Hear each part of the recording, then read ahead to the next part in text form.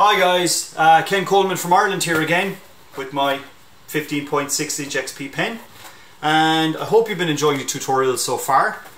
Um, here to show off my favourite toy that I use for all my work at the moment and let's go crack on with the tutorial.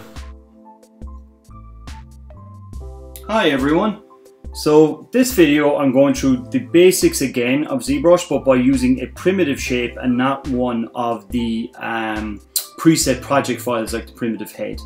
Okay, so the first thing we want to do is when we're in ZBrush is we want to go over to the right hand side of the toolbar and we can grab a sphere 3D.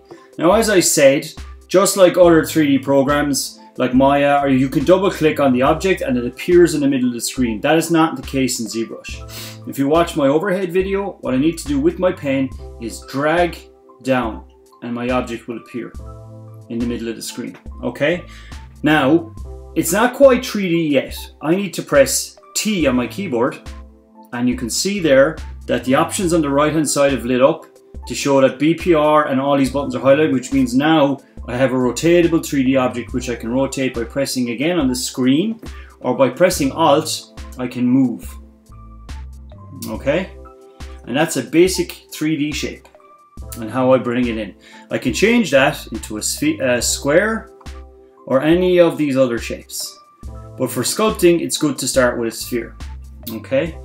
Now, the next thing we need to do in order to be able to sculpt is we have to press Make Polymesh 3D. So you press that button, and our object now, it says in here, becomes PM 3D sphere, which means Polymesh 3D. And now I can go over to my toolbar. I can change material if I want, which I might do just so you can see. So I'll go back to my MatCap skin. You can see it better on screen. And I'm also going to press transform again like the last video and activate symmetry. So when I rotate, now I know I'm in the front because I have two cursors. Okay, so what I want to do is just play with a couple of brushes so you get the idea. Now I have a lot more brushes that I bought from different websites like Flipped Normals or Bad King. The first two thirds of this are really what you're looking at. Okay, these ones down here are extra brushes I've got. Now when I start showing you with the ZBrush 2020 version, these will be different again. So I'm going to go clay build up and now Z add on so I can actually start to scratch and carve into my sphere. Okay, so that is with Z add. If I change to Z sub, I'll do on the other side, I carve in rather than add see the difference. Okay, now we're going to come on to geometry, which I mentioned in the last video, which is very important in ZBrush. You might notice that when I'm carving, it's getting really pixelated and breaking. We go to geometry and we divide our polygons. So now you can see it's much smoother, there's more control. Divide again, more control. We just have to be careful with the amount of of uh, polygons because if the KP becomes empty for millions, all of a sudden our computer will start to lag and we get a much bigger file. So all I'm going to do in this video is show you, now that we've made a sphere, the common mistakes that people make in ZBrush, okay? Common errors is what this video is going to be about and experimenting with some brushes. Okay, so we have my object here. I'm going to zoom it back a bit. A common mistake I found with students in ZBrush in the past, and you'll notice how it's clicking, I'm pressing shift to click it in place. A common problem before is if you accidentally press T, you'll see my BPR and some of my buttons have turned off and I go in and oh, here comes up another guy and then I go again and like why am I not making 3D, why can I not rotate my object? I've accidentally turned off 3D. If I press T, and frame. The last model that I dragged into the surface is available and that's my 3D object. But now I'm going, why, why have all these crazy objects I have to get rid of? I've seen this happen to people quite a lot and it's very frustrating. You literally go up here, you go to layer, clear layer. What has happened is, like in Photoshop, you've flattened all your 3D objects into 2.5D and stuck them to the background. Okay, I'll do that again. I accidentally press T and now I have objects going all over the place I want to get rid of them. So I press T again. I know I'm back in 3D. I press layer, drop down menu, clear. And now my 3D object is back in the middle of the space. Okay, so that is a very common error that people make. in ZBrush. Okay, I just wanted to get that out of the way because I've seen it happen at the very, very start when people are trying to navigate the system here. Okay, and remember I press Alt and I can go scroll around the screen and touch anywhere outside the object and I can rotate it. Okay, so now I have this object made. I'm to divide it one more time so it really smooths out. Okay, just for a bit of fun. I'm going to delete my lower objects because I don't need them. So what I'm going to do is I'm going to use the move brush.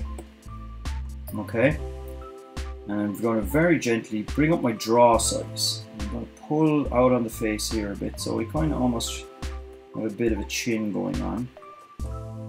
Okay, it's a bit of a beaky chin. Push it back some bit. Okay, and push in for some jaws in front. Bring out the eye area a bit. So maybe some kind of getting some maybe some kind of monstrous shape. I'll push in here where I know the neck might be on my object. Kind of looking somewhat cross between some kind of cat and skull. And that's the thing about ZBrush, it's great for concepting, for just coming up with ideas without actually having any preconceived ideas. Okay, now that I've that done, I'm going to go back and find my creature brush. Okay, that we used in the last time, and just play with it a little bit. This time, bring down my intensity so I just have some light scaling on my monstrous creature kind of thing. Organic creatures are one of the best way to start, okay? So if, I've done some organic sculpting here, the clay buildup and, and using Z add and C, Z sub for subtracting, which is cutting in. And now I've added a bit of texture, okay?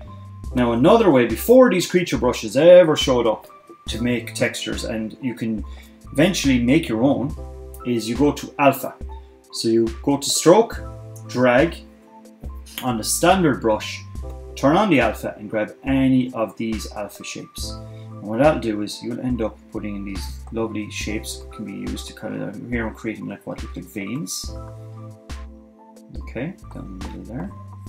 And I deactivate symmetry still on so we can see them, or I can turn to Z sub again and I can cut them in.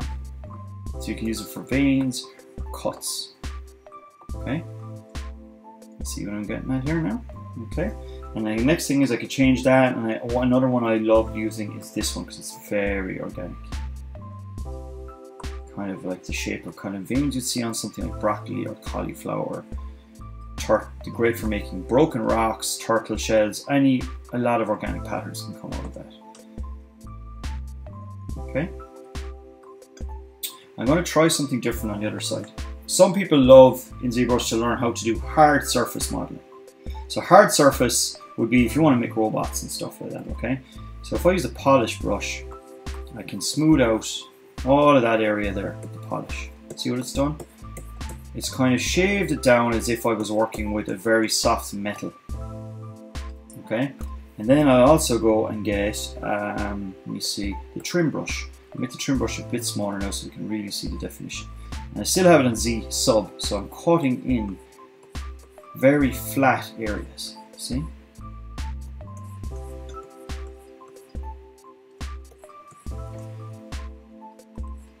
Could use this for carving. Carving in areas into my model. You can see the difference between using clay and using the carving of trim. So now I'm adding to it. Let's see, it's good for blocking in almost mechanical shapes. So just to reiterate, I've used in my history, I use the move tool here to bring out my chin. I've activated symmetry on, so I can just rotate my object and I can sculpt when I sculpt on one side and sculpt on the other. Okay, I used the clay build-up to create my kind of crazy looking lines and I used the Z sub with the clay build-up here to cut in. And then I used the standard brush on with an alpha on to create texture on my object. There's more different textures again, look. Almost like a football type of texture.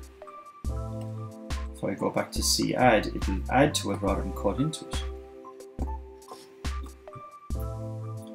Okay. And then for the, the side that I was using to make more kind of hard surface sculpting, I used polish and trim. Okay, so that's all I'm going to cover in this video is those two brushes, but with one more, the snake tool. Snake tool here has been around in ZBrush for a very long time, but up until the last edition was a bit um, disjointed. It would break. You would bring stuff out like this, and as you can see, it's breaking. The polygons are breaking. There's not enough polygons. But if we press this, which is called the Sculptris button, now I can make little tentacles or tree branches or veins with it.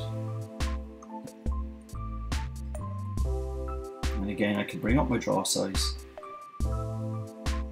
So that Sculptris button without breaks. Turn it on. Bring down my intensity is up, bring down my draw size, and look, I can create lovely little, almost like Chinese dragon, earthworm Jim looking tentacles on my creature. Now he looks like he could do, before I finish him, you know, this is what's great about ZBrush. Now I'm seeing a face. So what if I went back in with my clay buildup, but I put it on drag and on Z sub, and I can make two eye holes here, look. My creature. And I'll try clay buildup. I was on the wrong button there. Clay buildup. On drag. These two big Now, he's almost looking like he's made of rock. Okay. And what I could do is I could go in and maybe take my primitive shapes brush. So I have a primitive shapes one, primitive shapes here. And I can put two half circles for eyes. And now, like I showed you in the first video, those two circles have masked off. So I'm going to go to split, split mask points, and now my eyes here are separate. And I almost have some kind of weird looking um, golem creature, like he's made of stone. Reminds me of a couple of different things.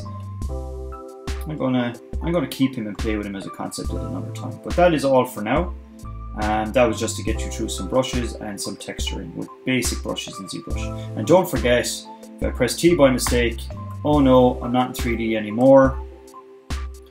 So I'll press T again, layer, clear, and bring my main object back to the front activate symmetry was on at all times. Okay, so I'll see you in the next video.